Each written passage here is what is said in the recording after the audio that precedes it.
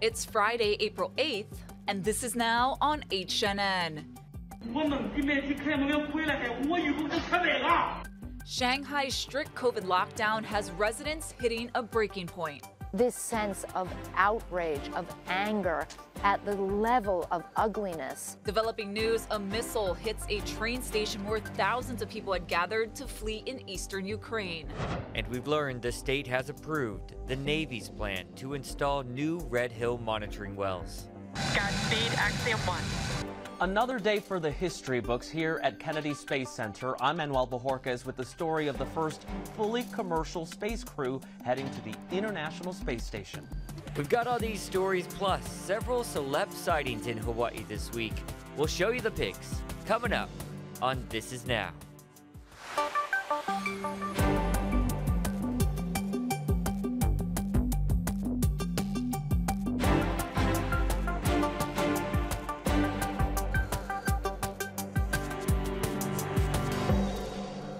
At noon, a bill that would strip the University of Hawaii as the sole manager of Mauna Kea passed the Senate Ways and Means Committee today with major amendments. In this new version, Senate leaders say the responsibilities to manage the mountain will be split between the new Mauna Kea Stewardship Authority, which will oversee about 9,500 acres of conservation land, and UH, which will be tasked with managing 550 acres of research lands. Senator Donovan Dela Cruz, the chair of the committee, said the latest proposed draft balances the interests and concerns of both the Native Hawaiian community and the state. The bill now heads to the Senate floor for its final vote. Good afternoon, everyone, and thank you so much for watching. This is now. China is dealing with its worst COVID outbreak ever. Shanghai officials continue to enforce strict COVID lockdown measures that are making life difficult for millions. Kristie Lu Stout has more.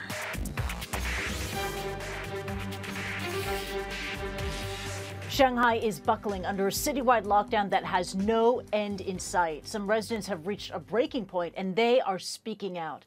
On Friday, Shanghai reported over 21,000 new cases of the virus, and as cases rise, China continues to cling to a tough zero COVID policy of mass testing, quarantines, and lockdowns. It is taking a toll on both lives and livelihoods. Now, this video clip has gone viral in China. Listen and watch how this man is venting his frustration in lockdown Shanghai. 我们这边去开门了回来还，我以后就撤北了，我没错过了，我要外忘的，一两是外忘的了，我哪能背啊？我无所谓了，本来是共产党在我手上，共产党呢？ CNN cannot verify the authenticity of the video, and there is also mounting anger over food shortages. This video clip circulating on Chinese social media shows a confrontation between residents under lockdown and police. Uh, the residents are shouting, We are starving, as they try to break out of the compound. And again, CNN cannot independently verify the authenticity of the video. On Thursday, the Shanghai government said it is doing its best to improve food distribution. There is also rising anger after a health worker was caught on video beating a pet corgi to death. This happened at a residential compound this week after its owner was reportedly taken to quarantine. A resident filmed a COVID prevention worker hitting the corgi three times with a shovel. The dog died at the scene. Now, CNN has reached out to the residential committee overseeing that compound, and they told local media that the owner would be compensated.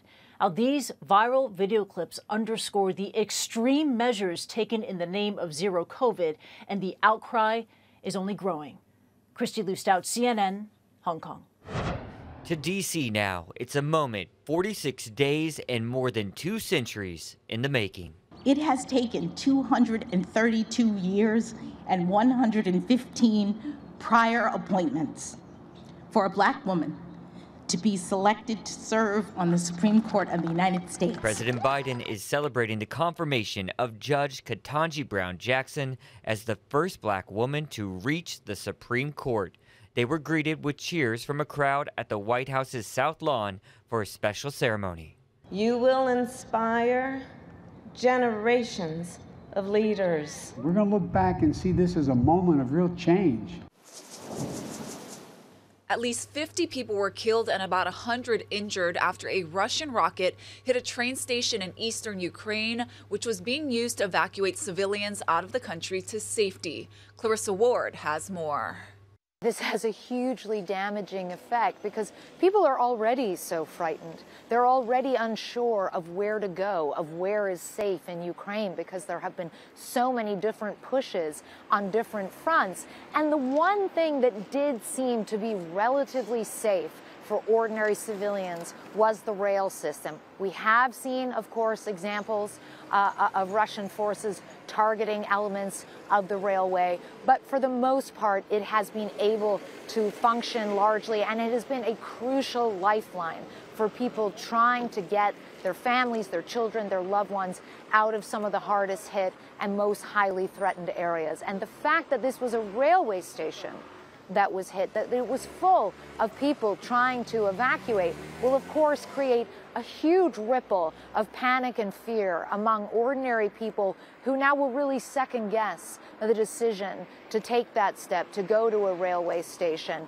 and potentially risk their lives. I also think it just infuses this sense of outrage, of anger at the level of ugliness in the sort of indiscriminate targeting that we have seen throughout this war. And I think it sends a shiver down the backs of so many people wondering what will unfold in the East. Russia has promised this renewed push. Could it get even uglier? Could it get even worse than so many of the images and stories that we have already seen across this country? It's a question we don't know the answer to yet, but we may well find out in the coming days. Caught on camera, police and bystanders wrestling down a man they say was trying to rob a bank. Honolulu police responded to the Bank of Hawaii in Pearl City around 1:30 yesterday afternoon on a call of an attempted robbery. Witnesses say they saw the man going behind the counter and harassing the tellers. When police arrived, customers in the bank helped those officers detain the man. It was it was crazy. It all happened, and then people were like trying to run in to see what was going on. Like, oh, the bank's closed. Only the ATM's open. We've reached out to HPD for more information on the suspect and his charges. We're still waiting to hear back. New today, the Navy's plan to install eight new groundwater monitoring wells has been approved. The Commission on Water Resource Management signed off on it. The wells are part of an effort to find out whether fuel is moving beyond the original spill area at Red Hill and to keep an eye on the purity of the aquifer. Even more monitoring wells are in the works. A jury has convicted a man of attempted murder for stabbing and nearly killing a teenager at Kahala Beach. We, the jury in the case, find the defendant, Eric Willis, guilty as charged. Prosecutors said 19 year old Eric Willis repeatedly stabbed Melia Kalahiki in July 2020 in an unprovoked attack while she was sunbathing. Kalahiki was 17 years old at the time. She identified Willis as her attacker, and surveillance video showed him walking near the crime scene, but the weapon was never found and no physical evidence was presented at the trial. Willis's attorney says he plans to appeal. Willis never testified in his defense, and he could face life in prison with the chance of parole when he's sentenced in mid July. The Attorney General's office arrested the woman in charge of training at the Department of Public Safety. Authorities believe she built her career on lies. Our chief investigative reporter, Lynn Kawano, has been following the investigation since she broke the story three years ago. Marty Martinez was brought in in handcuffs by the Attorney General's office Martinez has been in charge of training thousands of state law enforcement officers for years. Now she is accused of lying to get to that high ranking position. She's charged with perjury, a felony, tampering with a government record, and lying to authorities. 14 counts altogether. The complaint points to a labor board hearing. Good morning calling this hearing to order. Only our cameras were there in December 2019 when attorney Ted Hong, who represented a fired prison guard, questioned Martinez about her credentials. Where did you get that 92 criminal justice degree in criminology from? On the rock. And where is that? It's in California. In April 2019, we reported on her resume as she applied for promotions within the state agency. The documents show the experience and educational accomplishments she claimed changed constantly. One resume said she received a bachelor's degree from Southern Oregon University but an email I obtained from the school's enrollment office said there was no record of her getting that degree, discrepancies missed by the previous administration at the Department of Public Safety. And had they done what they were supposed to do in terms of due diligence with respect to her credentials, had they done that, we wouldn't be here. So many lives would not be ruined. Martinez's attorney says she was aware of the investigation and was willing to cooperate. During the lead up to this arrest, uh, offered to uh, uh, provide polygraph statements, offered to have additional meetings. All those were rejected by the state. Briner says they intend to fight the charges. I'm Lynn Kawano, Hawaii News Now. New at noon, the city and county just held a blessing for the West Loch Affordable Housing Complex in Ewa Beach. They also welcomed the property's first tenants. The building includes 58 studio units for individuals or couples at or below 50% of the area median income. Except for the fact that um, it's really nice to see something come to fruition. You know, we have so much on the drawing board, and we're so eager to try to get as many projects underway, developed, so people can move in like today. So to come to a moment like this, which is a fruition of the last couple of years of a lot of collaboration from a number of different people that had to come together to make it a possibility, to handing out keys today for people to actually move in and be able to begin, begin living their lives in a location that works for them not just with the park here for our keiki, but also in its general location. And the facility is, which you can see, is really beautifully, beautifully designed and built. So this is one of those good moments, and we really want to savor that. Rick Blangiardi there, Mayor of Honolulu. All right, guys, speaking of the city, want to take you live outside right now. Look at the rain coming Ooh. down for parts of the mountains there. Also, a little windy, if you saw in the interview with the mayor just then. Let's see an update on all the conditions. We're going to toss it over to Guy Hagi.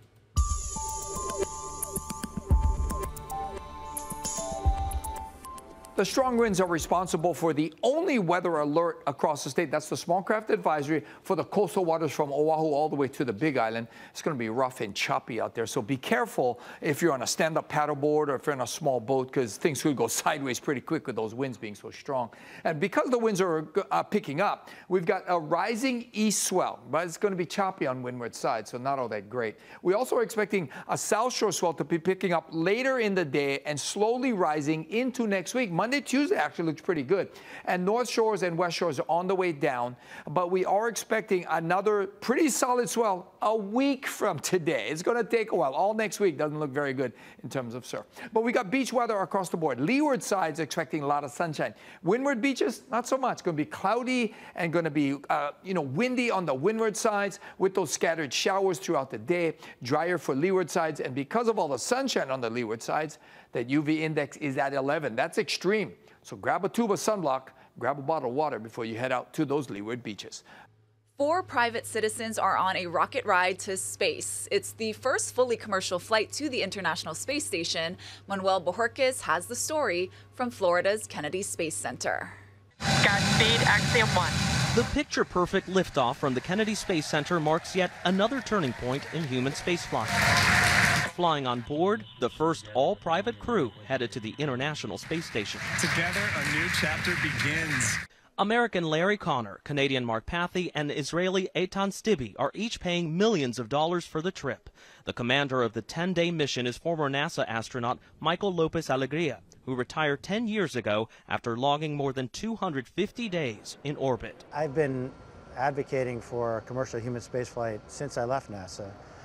And, you know, thinking that I would do that from the sidelines as a cheerleader, and now I get, you know, the ball on uh, first and goal. It's it's a wonderful opportunity. I, I couldn't be happier. While SpaceX is providing the ride, another company, Axiom Space, is managing the mission. The crew will work alongside professional astronauts once they reach the space station. Lopez Alegria says that makes them more than space tourists. These guys are eager, they're smart, they're, I, I think the most important quality that they have is they want to perform. Axiom CEO spent 30 years at NASA, and the company plans to build the first commercial space station. This is the first step in a number of flights that allow us to work with NASA to learn how to operate together. Enjoy your trip to that wonderful space station in the sky. For now, it's all eyes on Axiom 1, scheduled to dock at the space station Saturday morning, setting the foundation for a new era of space adventure. Manuel Bojorquez, CBS News at the Kennedy Space Center. Everyone's getting to go to space but us. Someday, Ash. Someday. Someday. Someday it will happen. All right, got to update you on a big celebrity story we've been following here at Mm-hmm. HNN. Following the recent arrest of Ezra Miller after that incident on the Big Island, fans on social media are lobbying to get the actor replaced in the coming DC film The Flash. Miller was arrested arrested on charges of disorderly conduct and harassment last month in Hilo. Miller is set to star in the film adaptation of the superhero tale, which is also a TV series. So this is where it gets super interesting. The movie is slated to come out in June of 2023, but there's been a lot of chatter online that Miller could be replaced by this person, Grant Gustin, who stars in the television version of The Flash. And many think he should take over the role because of all the trouble Miller's been getting into. He's been portraying that version of The Flash on the CW since 2014. Miller is also still expected to be in the upcoming release of that new Fantastic Beast movie. I didn't know a lot about The Flash before I looked into the story earlier today. You know, it came out in 1940. The nickname for the Flash is Scarlet Speedster, hmm. and he has the superpowers, of course, of going really, really, really fast. And apparently, apparently, Superman and the Flash race in several editions of DC Comics. Do you know who wins? Superman? It's a tie. Oh. Trick question, sorry. Thanks, Jonathan. well, Will Smith is banned from attending the Oscars or any other Academy event for 10 years after he slapped Chris Rock on stage at this year's ceremony. Now, the move comes after a meeting of the Academy's Board of Governors to discuss a response to the actor's actions, which they called unacceptable and harmful. Now, Smith resigned from the Academy last week during the run up to the meeting and said he would accept any punishment the Academy handed down. And historically, the previous year's Best Actor winner presents the current year's Best Actress award. So, with Smith's ban, the Oscars will have to break that tradition next year. Mm. Hmm And don't forget, you guys, New Kids on the Block and TLC are coming to Hawaii, performing at the Blaisdell on August 5th and 6th. And tickets go on sale tomorrow at 10 a.m. for Hawaii residents. You can buy up to eight tickets per person. And if you're an HNN viewer, you get first dibs. There's an exclusive pre sale an hour before at 9 a.m. Just use our passcode HNN. Now you can buy the tickets at the Blaisdell box office, by phone, or online at Ticketmaster or the promoter's website. Man, I've had TLC in my head ever since the news of this broke. Oh, yeah. Love them. Love the band and Mhm. New Kids on the Block as well. All right, more entertainment news for you. New at noon, we got Billy V standing by with a brand new interview with our local contestant on the American Song Contest that airs right here on KHNL. On this Aloha Friday, we go out towards California. We're waiting uh, with high hopes. Look at this. It's Bronson Varde. Yay!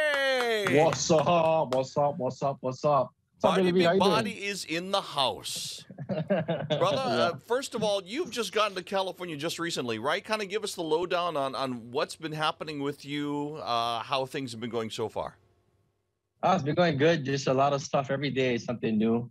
Um, I don't know. The weather here is crazy. It was 72 when I first got here. Now it's like 97. It's like, what's going on over here? Wow. So, but um, yeah, it's, it's been awesome. An awesome experience so far, man. Every we have wardrobe, we have rehearsal, so they, they, they're keeping us busy up here. Sounds good. How often are the rehearsals, and are you getting enough rehearsal time? Because I've been seeing the show, and the show is just phenomenal. Yeah, the show is a, is a full on production, man. Um, so I have a, have a rehearsal probably in an, in an hour, another rehearsal. But they, they- I think they do it. We just did the first one yesterday and another one today, Saturday, and even Sunday. So yeah, it's going to be a great performance. How is the band? How is working with these guys?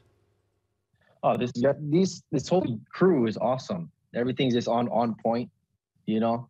Yeah, everybody's all professionals up here. So yeah, it's, Talk- super awesome. Talk about your song for a couple of minutes.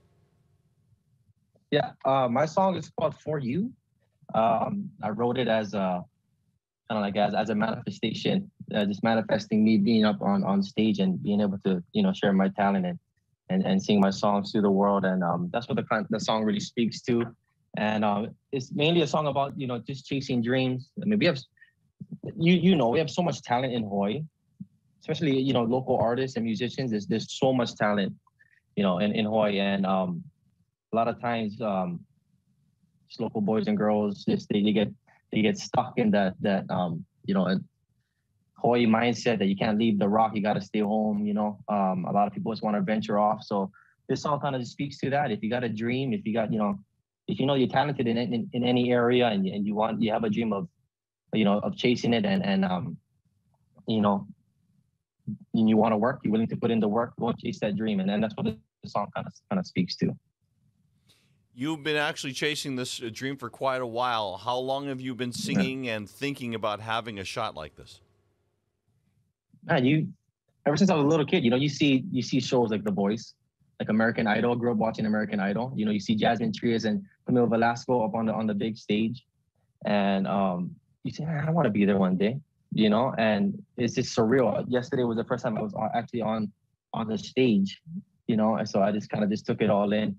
Uh, I've been dreaming about you know singing at, at this level for for a while, and um, yeah, it's just it's uh it's surreal. What has the social media response been so far?